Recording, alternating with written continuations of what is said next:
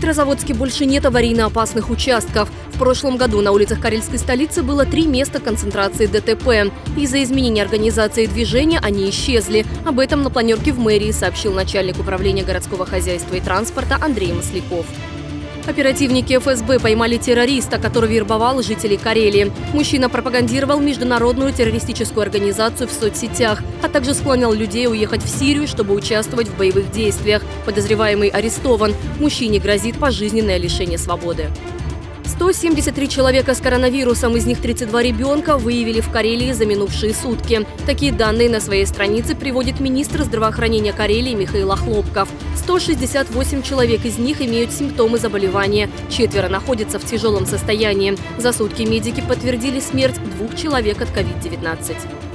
Останки трех бойцов Красной Армии нашли благодаря лесному пожару. Поисковики увидели следы боя после того, как огонь выжег верхний слой почвы. Нашли останки советских солдат на месте боя на границе Пряженского и Суаярского районов.